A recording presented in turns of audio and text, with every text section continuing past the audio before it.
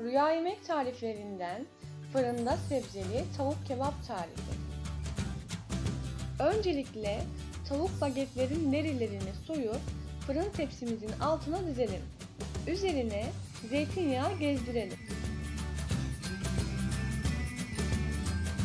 Ardından büyük büyük doğradığımız sebzeleri sırasıyla domates, biber, kabak ve kabuğunu soymadığımız patatesleri dizelim.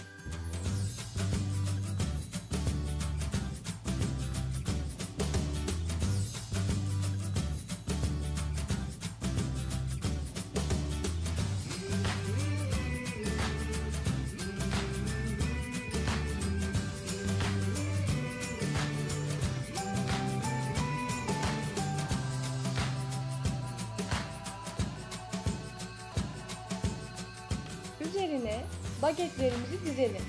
Daha sonra sarımsak, tereyağı ve baharatları ekledikten sonra folyo ile üzerini kapatalım.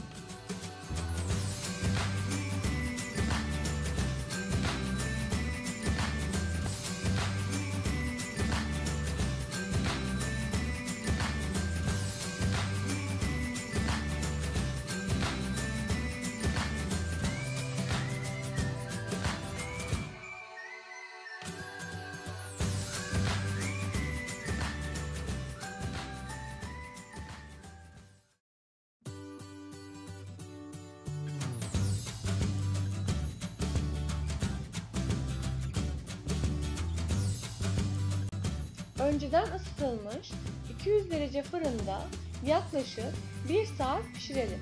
Fırınlara göre pişirme süresi değişiklik gösterebilir.